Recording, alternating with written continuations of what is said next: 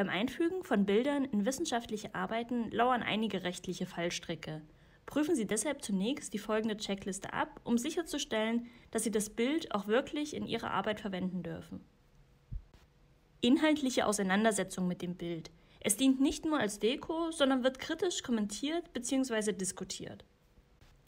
Änderungsverbot. Bilder dürfen nicht kommentarlos verändert werden. Falls Sie Änderungen vornehmen, müssen Sie diese immer kennzeichnen.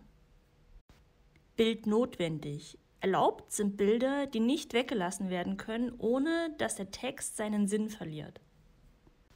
Wenn das Bild diese Punkte erfüllt, ist eine präzise Quellenangabe erforderlich, die eindeutig beschreibt, wie man das Bild im Original finden könnte.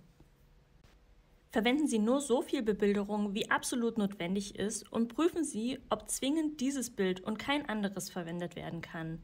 Wenn es austauschbar wäre, ist das Bildzitat nicht zulässig. Abbildungen ohne individuelle Kreativität, wie bei Darstellungen von Datenmengen und Formelzeichnungen, können beliebig vervielfältigt werden.